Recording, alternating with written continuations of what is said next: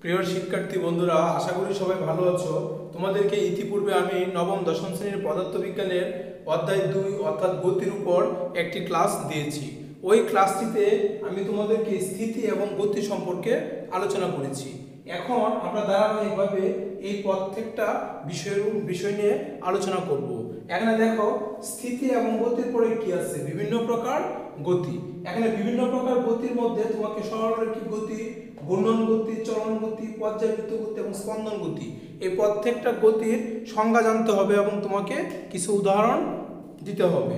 তো চলো বন্ধুরা, এখন এবং তোমাদেরকে আমি একটি কথা অলরেডি বলে রাখছি যে যখন তোমরা আমার ক্লাসগুলো দেখবে, তোমরা অবশ্যই খাতা এবং কলম রাখতে হবে কাছে। তোমাদের, আমি যেই যেই সংজ্ঞাগুলো যেভাবে বলব, প্রত্যেকটা সংজ্ঞা তোমাকে নোট করে রাখতে হবে। তাহলে এই বিষয়গুলো তোমরা যখন এই চ্যাপ্টারটা বই থেকে পড়বে, তোমাদেরকে অনেক বেশি হেল্প করবে। তো চলো বন্ধুরা, প্রথম আমরা জেনে নেই সরলরৈখিক গতি কি? সরলরৈখিক গতি এটা একদম খুব সহজ একটি বিষয়। তুমি যদি তুমি মনে করো একটা জায়গায় তুমি স্থির দাঁড়িয়ে আছো। তুমি সামনের দিকে হাঁটবে। এখন তোমার চলার পথটি যদি একদম স্ট্রেট সরল রেখা বরাবর হয়, তাহলে এই যে তোমার যে গতিটা, ওইটা হবে কি? সরলরৈখিক গতি। অর্থাৎ কোনো কোনো বস্তু বা কোনো ব্যক্তি বা যাই কিছুই হোক, তার চলার পথ যদি সরল রেখা বরাবর হয়, তখন তাকে বলা হবে কি? সরলরৈখিক গতি। তাহলে আমরা এখানে কি বলব? আমরা সরলরৈখিক গতির সংজ্ঞাটা আমরা কি লিখব? যে কোনো বস্তুর চলার পথ যদি সরল রেখার উপর সীমাবদ্ধ থাকে তখন তাকে বলা হবে কি? সরলরৈখিক গতি। তাই আশা করি বন্ধুরা, তোমরা সরলরৈখিক গতি বিষয়টা তোমরা বুঝতে পারছ। অর্থাৎ কোনো বস্তু চলার পথ যদি সরল রেখার উপর সীমাবদ্ধ হয় অর্থ এই- তোমরা এইভাবে সংখ্যাটা লিখতে পারো, অথবা এরকমও লিখতে পারো যে কোনো বস্তু চলার পথ যদি সরল রেখা বরাবর হয়, তখন তাকে বলা হবে কি সরলরৈখিক গতি। তুমি যখন সায়েন্সের প্রত্যেকটা বিষয়, একটা টপিক যখন তুমি ভালো ক্লিয়ার বুঝতে পারবে, তখন ল্যাঙ্গুয়েজটা একটু এদিক সেদিক হলে কোনো সমস্যা নেই। তুমি যদি কি বলে, স্যারকে বুঝাতে পারো যে তুমি বিষয়টি বলতে চাচ্ছ এবং সঠিকভাবে তুমি যদি কথাগুলো গুছিয়ে লিখতে পারো তাহলেই হবে। আমি এক্স্যাক্টলি তোমাকে যে সংখ্যাটা দিচ্ছি ওইটাই হইতে হবে তা না। তারপর তুমি জিনিসটা বুঝে তোমাকে গুছিয়ে লিখতে হবে। এখন খেয়াল করো, পরে কি আছে দেখো গুণ্ডন গতি। গুণ্ডন গতি হচ্ছে, মনে করো এটা হচ্ছে একটা নির্দিষ্ট বিন্দু। আর এটা একটা বস্তু। এই বস্তুটি যদি এই বিন্দুটাকে সমান দূরত্ব বজায় রেখে চারপাশে ঘুরতে থাকে, তখন তার যে গতি, এটাকে বলা হবে তোমার কি? গুণ্ডন গতি। অর্থাৎ একটি বস্তু যদি নির্দিষ্ট বিন্দু থেকে, একটি বস্তু যদি নির্দিষ্ট বিন্দু থেকে সমান দূরত্ব বজায় রেখে চারপাশে ঘুরতে থাকে, তখন তাকে বলা হবে কি? গুণ্ডন গতি। এটা বিন্দু না হয়ে একটি সরল রেখাও হইতে পারে। মনে করো এটা হচ্ছে একটি সরলরেখা এখন একটা বস্তু এই জায়গা থেকে সমান দূরত্ব বজায় রেখে মনে করো বস্তুটি সমান বজায় রেখে এভাবে চারপাশে কি করল? সে পরিভ্রমণ করল। তাহলে তার যে গতিটা, এটাকেও বলা হবে তোমার কি? গুণ্ডন গতি। গুণ্ডন গতি মানে যেটা বৃত্তাকার হইতে হবে তা না। এখানে যে যে জিনিসটাকে কি বলে, কেন্দ্র করে চারপাশে ঘুরবে এটা সরল রেখাও হইতে পারে। তাই আমরা গুণন গতি যে সংখ্যাটা তা আমরা কি লিখব? যে কোনো বস্তু যদি একটি নির্দিষ্ট বিন্দু বা নির্দিষ্ট রেখাকে কেন্দ্র করে সমান দূরত্ব সে এখানে আসার পরে তার দূরত্ব যা ছিল ওই জায়গাতে তাই, অর্থাৎ সব দিকে সে যদি সমান দূরত্ব বজায় রেখে চারপাশে পরিভ্রমণ করে, তখন তাকে বলা হবে কি? গুণন গতি। অর্থাৎ একটি বস্তু যদি একটি নির্দিষ্ট বিন্দু বা নির্দিষ্ট রেখা থেকে সমান দূরত্ব বজায় রেখে তার চারপাশে পরিভ্রমণ করে, তখন তাকে বলা হবে কি? গুণ্ডন গতি। তাহলে আশা করি বন্ধুরা, তোমরা গুণ্ডন গতি বিষয়টা তোমরা বুঝতে পারছ। অর্থাৎ গুণ্ডন গতির জন্য তুমি যে বিন্দু বা যে রেখাটাকে কেন্দ্র করে চারপাশে ঘুরবে, সে প্রত্যেকটা পয়েন্টে ওই রেখা থেকে তার দূরত্বটা কি হইতে হবে? সমান হইতে হবে। তাহলে ওইটাকে বলা যাবে তোমার কি? গুণ্ডন গতি এখন চলো বন্ধুরা আমরা আমরা জেনে নেই, তারপর কি আছে দেখো? চলন গতি চলন গতি হচ্ছে কোনো একটি বস্তু যদি নিতে, কোনো একটি বস্তুর সকল কণা কোনো একটি বস্তু সকল কণা যদি সমান সময়ে সমান পথ অতিক্রম করে, তখন তাকে বলা হবে কি? তাকে বলা হবে চলন গতি ধরো আমি এখানে দাঁড়ায় আছি, আমার আমার হাতে কি আছে? আমার হাতে দুটি মার্কার আছে। এখন মনে করো আমি এই জায়গা থেকে, এই জায়গা থেকে হেঁটে আমি সামনের দিকে যাব। এখন আমি হাঁটার সময় হাঁটার সময় আমার আমার সাথে যা ছিল, আমি এই ভ্রমণটা শেষ করার পরে, এই দূরত্বটা অতিক্রম করার পরে আমার কাছে প্রত্যেকটা জিনিস আমার হাতের মধ্যে থাকতে হবে। তাহলে এটা হবে কি চলন গতি? কারণ আমি যদি যাওয়ার সময় আমি হঠাৎ করে একটি মার্কার আমি ফেলে দিলাম, তাহলে কিন্তু চলন গতি হবে না। কারণ চলন গতির কন্ডিশনটাই হচ্ছে তুমি যেই অবস্থান থেকে যাত্রা আরম্ভ করবে এবং ওই অবস্থানে তোমার সাথে যা ছিল, তুমি যাত্রা শেষ করার পরেও তোমার সাথে ওই প্রত্যেকটা জিনিস তোমাকে থাকতে হবে। তাহলে ওইটা হবে কি চলন গতি। কারণ তুমি তুমি এখানে আমাদের সংজ্ঞার মধ্যে আমরা কি বলছি? যে কোনো একটি বস্তুর সকল কণা, অর্থাৎ আমি আমি যদি নিজেকে একটা বস্তু কল্পনা করি, তাহলে আমার সাথে যা আছে তাকে তাকে প্রত্যেকটাকে একটা কণা, আমার আমার আমার দেহ বা এখানে মার্কার যা আছে, প্রত্যেকগুলা তোমার কি অসংখ্য? এখানে কণা বা তুমি যাই বলো, এর সমন্বয়ে কি? আমাদের শরীরে কোষ আছে, কোষের সমন্বয়ে গঠিত। তো এখানে তুমি যদি একটা নির্দিষ্ট দিকে অতিক্রম করো, তাহলে তোমার তোমার শরীরে যতটুকু অংশ আছে, প্রত্যেকটা অংশ কি দূরত্বটা যেতে যেতে হবে। তাহলে এটাকে বলা হবে কি চলন গতি এখন মনে করো তোমার একটি এক কি বলা যায়, একটি প্রাইভেট কার কোনো একদিকে যাচ্ছে। কারণ প্রাইভেট কারটা কি? অসংখ্য কণা, অসংখ্য অনুপরমাণু সমন্বয়ে গঠিত। এখন সে যাওয়ার সময় হুট করে তার কি বলা যায় একটা একটা কি বলে যে একটা একটা কিছু তার গাড়ির মধ্যে প্রথম সে যাত্রা শুরু করার আগে প্যাসেঞ্জার ছিল, একটা প্যাসেঞ্জার মাঝপথে নেমে গেল, এভাবে একটা একটা বস্তু সে ফেলে দিচ্ছে। তাহলে এটা কোনো অবস্থাতে কি চলন গতি হবে না? চলন গতি মানে হচ্ছে কোনো একটি বস্তু সকল কোণা এটা যে কোনো ধরনের বস্তু হইতে পারে। সে যাত্রা শুরু করার পর মুহূর্তে তার যা থাকবে, যাত্রা শেষ করার পরেও তাই থাকতে হবে। তো আমি আর এই ব্যাপারে কথা বাড়াচ্ছি না। আমি ফাইনালি তোমাকে কি বলছি? কোনো একটি বস্তুর সকল কণা সকল কণা, তার মধ্যে যা থাকবে, তা যদি সমান সময় সমান পথ অতিক্রম করে, তখন তাকে বলা হবে কি? চলন গতি। তাহলে বন্ধুরা, আমরা অলরেডি এই জায়গা থেকে ঘূর্ণন সরলরৈখিক গতি ঘূর্ণন গতি, চলন গতি সম্পর্কে আমরা জানলাম। আর শিক্ষার্থী বন্ধুরা তোমরা পথ থেকেই কিন্তু আমার প্রত্যেকটা সংজ্ঞা তোমাকে নোট করে রাখতে হবে। তারপর দেখো কি আছে? পর্যায়বৃত্ত গতি। পর্যায়বৃত্ত গতি হচ্ছে তোমার কোনো একটি বস্তু যদি নির্দিষ্ট সময় পর পর একটি নির্দিষ্ট বিন্দুকে যদি অতিক্রম করে, তখন তাকে বলা হবে কি? পর্যায়বৃত্ত গতি। যেমন তুমি মনে করো সাপোজ আমি এটাকে একটা ঘড়ি কল্পনা করলে, ঘড়ির মধ্যে তোমার কি থাকবে? এখানে বারোর দাগ কাটা থাকবে, তারপর তোমার কেন ওয়ান থাকবে, তারপর টু থাকবে থ্রি থাকবে, ঠিক আছে? ফোর থাকবে ফাইভ থাকবে সিক্স সেভেন তারপর কি? Eight nine ten eleven twelve এরকম দাগ কাটা থাকবে। তো এখানে মনে করো, তোমার এই জায়গাতে কি থাকবে একটি? মিনিটের সেকেন্ড রেখাটি সবচেয়ে বড় থাকবে, তারপর কি থাকবে? একটি ঘণ্টার, একটি মিনিট রেখাটা থাকবে, তারপর কি থাকবে? একটি ঘণ্টার কাটা থাকবে। এখন আমি যদি এই ঘড়ির কাটার গতিগুলোকে পর্যায়বৃত্ত, বৃত্ত গতি বলি, কেন বলব? কারণ হচ্ছে এই যে ঘড়ির কাটার যে মিনিটের কাটাটি আছে, সে বারোকে ষাট মিনিট সিক্সটি মিনিট পর পর কি করবে সে? অতিক্রম করবে।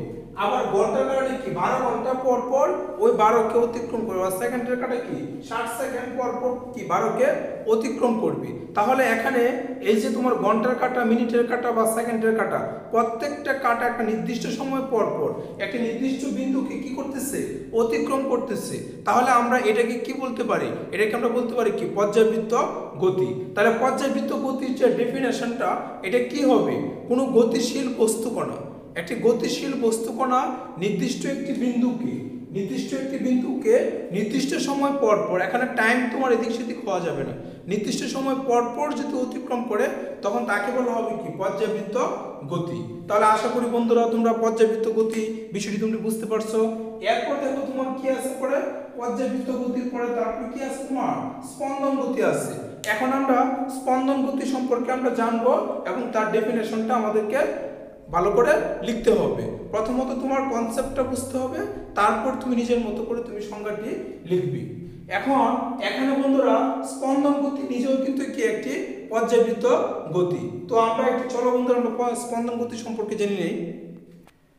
স্পন্দন গতিটা বোঝার জন্য আমি প্রথমে তোমাদেরকে একটি সরল দোলকে দেখাচ্ছি, দেখো। এই সরল দোলক এটা কি? এটা হচ্ছে একটা অবলম্বন বা এটা হচ্ছে কি একটা সাপোর্ট। এই সাপোর্ট থেকে তারের মাধ্যমে আমি একটি বাড়ি একটি বস্তু একে বব বলা হয়। একটি বস্তুকে আমি কি করলাম? ঝুলিয়ে দিলাম।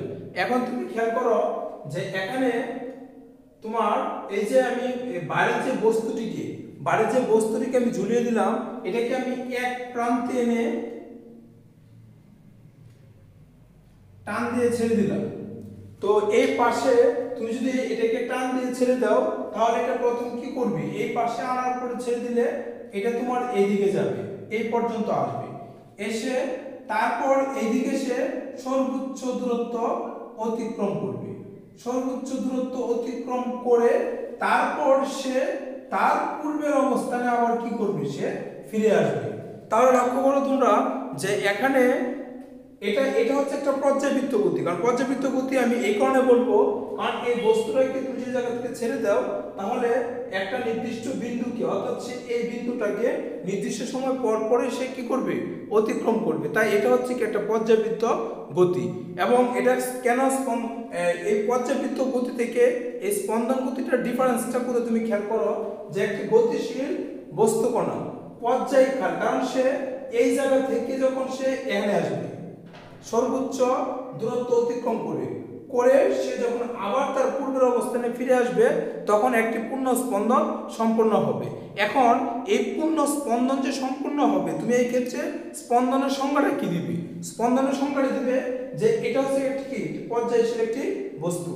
পর্যায়শীল কোনো একটি বস্তু পর্যায়কালের অর্ধেক সময়, অর্থাৎ সে এই কি বলে, তার পুরা যে পর্যায়টি সম্পন্ন করবে, সে সর্বোচ্চ এই প্রান্তে যাবে, আবার এই প্রান্তে ফিরে আসবে।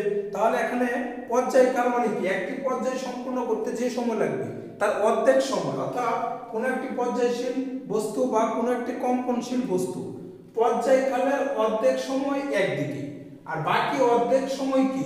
তার পূর্বের অবস্থানে যদি বিপরীত দিকে ফিরে আসে, তখন তাকে বলা হবে কি? তাকে বলা হবে তাহলে বন্ধুরা আমরা সংজ্ঞাটা কি দিব দেখো? পর্যায়বৃত্ত গতি সম্পন্ন কোনো বস্তু। কারণ এটা এটা হচ্ছে তোমার কি? স্পন্দন গতি নিজেও কি একটি পর্যায়বৃত্ত গতি? তাই তুমি সংজ্ঞাটা কি দিবে দেখো? যে পর্যায়বৃত্ত গতি সম্পন্ন কোনো বস্তু। কারণ এটা হচ্ছে কি? পর্যায়, স্পন্দন গতি নিজেও, স্পন্দন গতি, কি বলে, পর্যায়বৃত্ত গতি যেহেতু, তাই আমরা কি বলব? পর্যায়বৃত্ত গতি সম্পন্ন কোনো বস্তু। পর্যায়কালের অর্ধেক সময় একদিকে।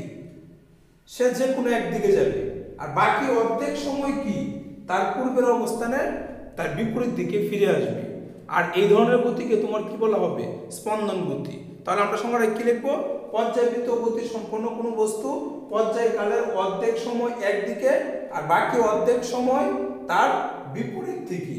বিপরীত দিকে কি? পূর্বের অবস্থানে ফিরে আসলে তখন তাকে বলা হবে কি? তাকে বলা হবে স্পন্দন গতি।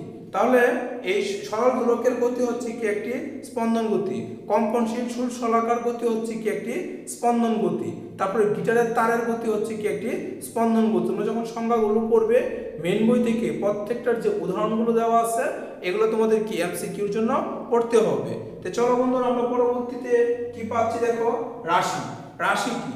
রাশি সম্পর্কে তোমাদের পাঠ্য বইয়ের প্রথম অধ্যায়ে ব্যাপক আলোচনা করা আছে। আমি পরবর্তী সময়ে ওই চ্যাপ্টারটা থেকে যখন ক্লাস দিব, ওই বিষয়গুলো সম্পর্কে আমি আর অনেক বিস্তারিত বলব। তোমাদের যেহেতু পরীক্ষা খুব নিকটে, তাই আমি ওই চ্যাপ্টারটা এখন ওই চ্যাপ্টার থেকে তোমাদের সৃজনশীল কি পরীক্ষাতে কম আসে, তাই আমি গুরুত্বের বিচারে চ্যাপ্টার দুইয়ের উপর আগে ক্লাস দিচ্ছি। ওই বিষয়গুলোর উপরে আমি যদি পরে সময় সুযোগ পাই ক্লাস দিলে আরও বিস্তারিত আমি বলব। এখন লক্ষ্য করো তোমাদের এখানে রাশি কি? রাশি হচ্ছে ভৌত জগতে। এই এই পৃথিবীতে যা কিছু আছে, এর মধ্যে যা পরিমাপ করা যায়, তাই হচ্ছে কি রাশি? তারপর রাশির সংখ্যা কি দিব? এই ভৌত জগতে যা কিছু পরিমাপযোগ্য, তাকে কি বলা যাবে? তাকে রাশি বলা যাবে। তোমাদের প্রথম চ্যাপ্টারে রাশিকে দুইটা অংশে ভাগ করা হচ্ছে। একটা হচ্ছে কি তোমার কি? মৌলিক রাশি, আর একটা হচ্ছে কি লব্ধ রাশি। মৌলিক রাশি হচ্ছে যে রাশি নিজেকে সম্পূর্ণরূপে প্রকাশ করার জন্য অন্য কোনো রাশির উপর কি নির্ভর করে না। অর্থাৎ যে রাশি অন্য কোনো রাশির উপর নির্ভর করে না। এদেরকে বলা হবে কি মৌলিক রাশি। অর্থাৎ মৌলিক রাশিকে বাংলে অন্য কোনো রাশি কি পাওয়া যাবে না। আর লব্ধ রাশি কি? যে রাশি নিজেকে প্রকাশ করার জন্য মৌলিক রাশির উপর নির্ভর করে, তা হচ্ছে কি লব্ধ রাশি। তো ওই ডেফিনেশনগুলো তোমরা ফার্স্ট চ্যাপ্টারে পড়ে নিও। এখানে আমি রাশি সম্পর্কে তোমাদের স্কেলার এবং ভেক্টর রাশি সম্পর্কে আমি বলছি। দেখো স্কেলার রাশি কি? স্কেলার রাশি এবং ভেক্টর রাশি। তো তোমরা লক্ষ্য করো, তুমি যদি বাজার থেকে বাজার থেকে তুমি যদি চাল কিনতে চাও, তুমি যদি দোকানদারকে বলো, আমাকে পশ্চিম দিকে পাঁচ কেজি চাল দেন। তাহলে সে অবশ্যই সে হাসবে এবং সে মনে মনে ভাববে, তুমি নিশ্চিত কি বলে? মানসিকভাবে তুমি কি বিপর্যস্ত? অথবা এরকম কথা কেউ কখনো বলবে না যে এরকম তোমার ভর বা ওজন ভরের ক্ষেত্রে ওজন ওজন জিনিসটা ভিন্ন। তোমার ভরের ক্ষেত্রে কখনোই তোমার কি এখানে দিক উল্লেখ করার কোনো প্রয়োজন নেই। তুমি যদি ডিম কিনতে যাও, এখানেও তোমার কি? দিক বলার কোনো প্রয়োজন নেই। তোমার এখানে স্কেলার রাশি হচ্ছে, যে রাশিগুলো শুধু মান আছে, কিন্তু দিক নেই। তাদেরকে বলা হবে কি? তাদেরকে বলা হবে তোমার কি? স্কেলার রাশি। আর ভেক্টর রাশি হচ্ছে, যে রাশিগুলোর মান আছে এবং দিক আছে, দুটোই আছে, তাকে বলা হবে কি? ভেক্টর রাশি। অর্থাৎ যে সকল রাশিকে সম্পূর্ণরূপে প্রকাশ করার জন্য মান এবং দিক উভয়ের প্রয়োজন হয়, তাকে বলা হবে কি? তাকে বলা হবে ভেক্টর রাশি। তো স্কেলার রাশি, তোমাদের বইয়ে কতগুলো উদাহরণ আছে? দৈর্ঘ্য বর দ্রুতি, কাজ, শক্তি, সময়, তাপমাত্রা, এগুলোর কোনো দিক নেই। এগুলোকে শুধু মান দ্বারা প্রকাশ করা যায়। তাই এগুলো কি? এগুলো হচ্ছে স্কেলার রাশি। আর ভেক্টর রাশি ভেক্টর তোমার কি আছে? দিক আছে। যেমন তুমি যেমন তুমি কি বলতে পারো? যে সরল। দূরত্ব কি? দূরত্ব হচ্ছে দূরত্ব হচ্ছে কি একটি স্কেলার রাশি। কেন স্কেলার রাশি? আমি মনে করি এইভাবে হাঁটতেছি এইভাবে হাঁটতেছি। অর্থাৎ আমি যে এলোমেলো ভাবে এই জায়গা থেকে যাত্রা শুরু করে এইদিকে এইদিকে বিভিন্ন ভাবে আমি কি যাচ্ছি? অর্থাৎ আমি এই টোটাল পথটা পরিমাপ করলে যা পাবো তা হচ্ছে কি দূরত্ব। অর্থাৎ এই ক্ষেত্রে নির্দিষ্ট কোনো দিক কি? আমরা আমরা পাচ্ছি না। কারণ সে প্রত্যেকটা মুভমেন্টে কি করতেছে? সে দিক চেঞ্জ করতেছে। তাই এটা কি? এটা হচ্ছে একটা স্কেলার রাশি। কিন্তু স্মরণ কি? স্মরণ হচ্ছে তার আদি অবস্থান হতে অন্ত অবস্থান। যে কোনো দিকে সে পূর্ব দিকে হোক, পশ্চিম দিকে হোক, যে কোনো দিকে হোক, তাকে স্টেট তাকে কি করতে হবে? দিকটি উল্লেখ থাকতে হবে যে সে কোন দিকে যাচ্ছে। তাই স্মরণ কি? স্মরণ হচ্ছে একটি ভেক্টর রাশি। তাহলে আমরা এক কথায় যদি আমরা বলি, তাহলে কি বলব? যে সকল যে সকল ভৌত রাশিকে শুধু মান দ্বারা প্রকাশ করা যায়, তাদেরকে বলা হবে কি? তাদেরকে বলা হবে স্কেলার রাশি। আর যে সকল ভৌত রাশিকে প্রকাশ করার জন্য মান এবং দিক উভয়ের প্রয়োজন হয়, তাদেরকে বলা হবে কি? ভেক্টর রাশি। এখন ভেক্টর রাশি প্রকাশ করার জন্য তুমি মনে করো যে রশি লেখা এখানে তার দিক কি? এটা হচ্ছে আদি বিন্দু আর এটা হচ্ছে কি? তার অন্তবিন্দু। আদি বিন্দু হতে অন্তবিন্দুর দিকে কি? তার দিক আছে। তাহলে এখানে ওই ওই মানটাকে তুমি যদি এ দ্বারা উল্লেখ করো, তাহলে তোমার কি এটাকে ভেক্টর হিসেবে লিখলে কি? তার উপর একটি এরো চিহ্ন দিতে হবে। তার উপর একটি এরো চিহ্ন থাকবে। এর চিহ্ন একটু বড় হয়ে গেছে। বিষয়টা এরকম হবে। একটি এরো চিহ্ন দিতে হবে। অথবা তাকে তুমি কি এরকম মডুলাস চিহ্ন লিখতে পারবে। অথবা এটাকে তুমি কি বোল্ড ধরো। এরকম ভাবে তুমি আরও গাঢ় করে লিখতে পারো। ভেক্টর সম্পর্কে তোমাদের নবম, দশম শ্রেণির উচ্চতর গণিতে ভেক্টর চ্যাপ্টারে আরও ব্যাপকভাবে আলোচনা করা আছে। আমি পরবর্তী সময়ে ওই চ্যাপ্টারটার উপর একটি যখন ভিডিও আপলোড দিব, তোমরা ওই জায়গা থেকে আরও বিস্তারিত জেনে নিবে। আপাতত তোমরা স্কেলার রাশি ভেক্টর রাশির সংখ্যা পড়বে, ওই জায়গা থেকে তুমি উদাহরণগুলো মনে রাখবে, তাহলে যথেষ্ট। তারপর লক্ষ্য করো বন্ধুরা, এখানে কি আছে দেখো? দূরত্ব এবং কি আছে? স্মরণ। আমরা এই জায়গা থেকে দূরত্ব এবং স্মরণ সম্পর্কে জানব। শিক্ষার্থী বন্ধুরা, তোমরা খেয়াল করো যে এখানে এইটা হচ্ছে তুমি, এই জায়গাতে তুমি অবস্থান করতেছো। এখন তোমার এই যে জায়গায় তুমি অবস্থান করতেছো, এই জায়গা থেকে একটা টাইম করে তুমি এই জায়গাটার অবস্থান তুমি এ দিলা, এ থেকে তুমি বি তে গেলে। বি থেকে তুমি কিছুক্ষণ পরে কি আবার তুমি সি তে গেলে? সি থেকে কিছুক্ষণ পরে আবার তুমি কি? এই ডি তে গেলে। ডি থেকে কিছুক্ষণ পরে আবার তুমি কি? ই তে গেলে ই থেকে কিছুক্ষণ পরে আবার তুমি কোথায় গেলে? এফ গেলে। এখন তুমি লক্ষ্য করো, এখানে দূরত্ব কোনটা আর এখানে স্মরণ কোনটা? তোমাকে বুঝতে হবে, দেখো। যে তুমি মনে করো সাপোজ এই এতটুকু মান মনে করো ওয়ান কিলোমিটার এইটা মনে করো ওয়ান কিলোমিটার এই রাস্তাটুকু মনে করো ওয়ান কিলোমিটার এটা টু কিলোমিটার এটা থ্রি কিলোমিটার এখন আমি যদি তোমাকে প্রশ্ন করি, এখানে দূরত্ব কতটুকু? দূরত্ব হচ্ছে তুমি এই যে তুমি যে জায়গা থেকে যাত্রা শুরু করছ, এই জায়গা থেকে এই যে প্রত্যেকটা অবস্থানে যাওয়ার জন্য তুমি যে পথটুকু অতিক্রম করছ, এই পুরা পথটুকুর সামষ্টিক যে মানটা আসবে, এটাই কি? এটি হচ্ছে তার দূরত্ব। অর্থাৎ আমরা কি বলতে পারি? ওয়ান কত হবে? টু থ্রি তারপর কত? ফাইভ আর থ্রি এইট অর্থাৎ এখানে তার দূরত্ব হচ্ছে কি? তোমার দূরত্ব কি? তুমি যে জায়গা থেকে যাত্রা শুরু করছ ওই জায়গা থেকে শেষ অবস্থানে আসার জন্য তুমি যতটুকু পথ অতিক্রম করছ, এটা হচ্ছে কি? এটা হচ্ছে তার দূরত্ব। অর্থাৎ এখানে তুমি এই যে দূরত্ব, তুমি যে পথটা গেলা, তার কিন্তু তোমার কিন্তু কোনো নির্দিষ্ট দিক নেই। তুমি যখন প্রত্যেকটা অবস্থানে তুমি কি করতেছো? তোমার দিক চেঞ্জ করতেছো। তাই আমি কিন্তু কতক্ষণ আগে স্কেলার রাশি এবং ভেক্টর রাশির মধ্যে তোমাকে কিন্তু আমি বলছি যে দূরত্ব কি? দূরত্ব হচ্ছে একটি স্কেলার রাশি। কারণ দূরত্বের কি নেই? কোনো নির্দিষ্ট দিক নেই। কিন্তু স্মরণ কি হবে দেখো? স্মরণ হচ্ছে তোমার যে আদি অবস্থান ছিল এই আদি অবস্থান এবং শেষ অবস্থান। দুটো অবস্থানের মধ্যে সরাসরি যে ব্যবধান, এই ব্যবধানটা হচ্ছে কি স্মরণ তাহলে আমি মনে করো, এই দুইটা পথ যদি আমি মাপি যে তার আদি অবস্থান কি ছিল? এ। আর এখানে মনে করো তোমার কি? টু কিলোমিটার তাহলে এই আদি অবস্থান এবং শেষ অবস্থান। এই দুইটা অবস্থানের মধ্যে সরাসরি যে ব্যবধান, এটা হচ্ছে কি স্মরণ আর এখানে স্মরণের মান কত? স্মরণের মান হচ্ছে কত টু কিলোমিটার এবং তার আদি অবস্থান থেকে শেষ অবস্থান। দুইটা দুইটা অবস্থান নির্দেশ করার জন্য অবশ্যই নির্দিষ্ট দিক থাকবে। এটা পূর্ব দিকে হোক, পশ্চিম দিকে হোক, উত্তর দিকে হোক, যে কোনো একটি নির্দিষ্ট দিক বরাবর হবে। তাই তুমি এই যে আদি অবস্থান থেকে শেষ অবস্থাটা উত্তর দিকে থাকতে পারে বা এটা পূর্ব দিকে থাকতে পারে, পশ্চিম দিকেও থাকতে পারে। এখানে একটা নির্দিষ্ট দিক বিষয়টা যখন আসবে, তখনই তোমার কী হবে? স্মরণ। আর স্মরণের ক্ষেত্রে তুমি আরেকটা কথা বলতে পারো যে আদি অবস্থান এবং কোনো একটি বস্তুর আদি অবস্থান এবং শেষ অবস্থানের মধ্যে সবচেয়ে ক্ষুদ্রতম যে ব্যবধান, এটাই কি তার স্মরণ? তাহলে এগুলো কিন্তু তার ক্ষুদ্রতম ব্যবধান না। সে প্রত্যেকটা সেগমেন্টে সে এই পথটুকু তোমার কি অতিক্রম করছে? তাহলে এটা কিন্তু তার ক্ষুদ্রতম ব্যবধান নয়। তার সবচেয়ে শর্টকাট ব্যবধান কি? ওই এক থেকে দুই সরল রেখা বরাবর। তাই স্মরণের ক্ষেত্রে যে পথটা পথটা কি হবে তোমার? সরল রৈখিক পথ হবে। তাহলে আমরা এখানে কি বলতে পারি দেখো? আমরা এই জায়গা থেকে স্মরণ এবং আমরা দূরত্বের একটা সংজ্ঞা লিখতে পারি। তুমি যদি দূরত্বের সংজ্ঞা লেখো, তাহলে কি হবে?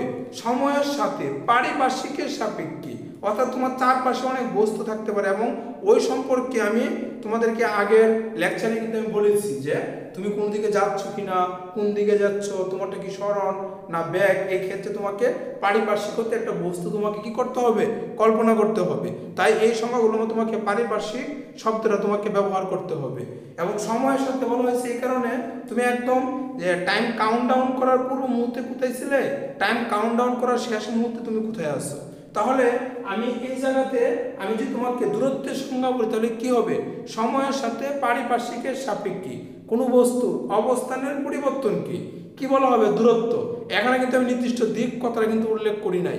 তার মানে দূরত্বের ক্ষেত্রে তুমি এলোমেলো যে কোনো দিকে পথ অতিক্রম করতে পারো। কারণ দূরত্বের কি নেই নির্দিষ্ট কোনো দিক নেই। তাহলে এখানে বন্ধুরা তোমরা খেয়াল করো যে তার এই যে এ বি সি ডি থেকে এফ পর্যন্ত তার এই জায়গা থেকে মোট পথ কত? মোট পথ সে মনে করো অতিক্রম করল সে কি? ডি পরিমাণ পথ অতিক্রম করল।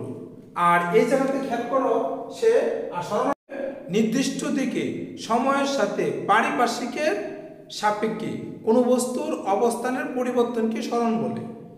দূরত্বকে তোমার কি দ্বারা প্রকাশ করা হবে? ডি দ্বারা প্রকাশ করা হবে। আর স্মরণকে এস দ্বারা প্রকাশ করা হবে। তাহলে আমি বন্ধুরা, আমি কি বললাম? যে দূরত্বের সংজ্ঞার মধ্যে কি থাকবে? দিক থাকবে। দিক থাকবে না সরি দূরত্বের সংজ্ঞার মধ্যে কি? দিক থাকবে না, কারণ দূরত্ব হচ্ছে একটি স্কেলার রাশি। আর স্মরণের সংজ্ঞার মধ্যে তোমার কি দিক থাকবে? কারণ স্মরণ কি? একটি ব্যাক্টর রাশি। তাহলে তুমি দুটি সংজ্ঞা কি? তুমি যদি আমি লাস্ট আরেকবার তোমাকে বলি, তাহলে কি হবে বন্ধুরা? এখানে আমরা কি বলতে পারি? যে সময়ের সাথে পারিপার্শ্বিকের সাপেক্ষে কোনো বস্তুর অবস্থানের পরিবর্তন কি? কি বলা হবে? দূরত্ব। আর সময়ের সাথে পারিপার্শ্বিকের সাপেক্ষে সরি নির্দিষ্ট দিকে সময়ের সাথে পারিপার্শ্বিকের সাপেক্ষে কোনো বস্তুর অবস্থানের পরিবর্তনকে স্মরণ বলা হবে। দূরত্বকে ডি দ্বারা প্রকাশ করা হয় আর স্মরণকে কি দ্বারা প্রকাশ করা হয়? এস দ্বারা প্রকাশ করা হয়। এবং দূরত্বের একক হচ্ছে মিটার, আর স্মরণের একক হচ্ছে কি? মিটার। আর দূরত্বের মাত্রা দূরত্বের মাত্রা তুমি মাত্রা লেখার ক্ষেত্রে তাকে যা দ্বারা প্রকাশ করা থার্ড ব্র্যাকেট দিতে হবে এল দ্বারা প্রকাশ করা হয়। আর স্মরণের মাত্রা কি? স্মরণের মাত্রা হচ্ছে কি এল তার মানে দূরত্বের একক মিটার স্মরণের একক কি? মিটার। দূরত্বের মাত্রা এল স্মরণের মাত্রা কি হবে? এল হবে। তাহলে দুটার মাত্রা কি হবে বন্ধুরা? দুটার মাত্রা হবে সেম তাহলে আশা করি বন্ধুরা তোমরা এই জায়গা থেকে দূরত্ব কি বুঝতে পারছ? স্মরণ কি? ওইটাও তোমরা কি বুঝতে পারছ? তো এখানে আরেকটি জিনিস তোমাদেরকে জানতে হবে, মাত্রা কি? মাত্রা সম্পর্কে তোমাদের প্রথম অধ্যায়ে আলোচনা করা আছে। তারপরে আমি সংজ্ঞাটা তোমাদেরকে বলে দেই, যে কোনো যে কোনো একটি রাশিতে তোমার যে মৌলিক রাশিগুলো থাকবে, তাদের যে ঘাত, এই ঘাতটাকে বলা হবে তোমার কি? মাত্রা। তাহলে বন্ধুরা আমি কি বললাম? যেমন কি এখানে দূরত্ব কি? দূরত্ব হচ্ছে একটা ভৌত রাশি। এবং এটা হচ্ছে কি একটা মৌলিক রাশি, কারণ এটা এই রাশিটা কি অন্য কোন রাশির উপর ডিপেন্ড করতেছে না। এটা এটাকে বাংলা শুধু তোমার কি এমনি পাওয়া যাচ্ছে। আবার স্মরণ কি? এটা হচ্ছে একটি ভৌত রাশি এবং এটা হচ্ছে একটি মৌলিক রাশি। তাহলে এখানে এই এল এর এল এর গাত কত? ওয়ান। এই জায়গাতে এল এর গাত কত? ওয়ান। তাহলে এখানে তোমার এই দূরত্বের মাত্রা কত? ওয়ান। আবার সরণের মাত্রা কত হবে তোমার? অর্থাৎ পাওয়ার যেহেতু ওয়ান তাহলে মাত্রা কত হবে ওয়ান হবে। তাহলে মাত্রার সংখ্যাটা তুমি কি বলতে পারো যে, কোনো বৌদ্ধ রাশিতে উপস্থিত। মৌলিক রাশিগুলোর কি? এনে যে তার যে পাওয়ার আছে এল আছে এল এর পাওয়ার কত আছে? ওয়ান এই ঘাতকে তোমার কি বলা হবে? ঘাতকে বলা হবে মাত্রা।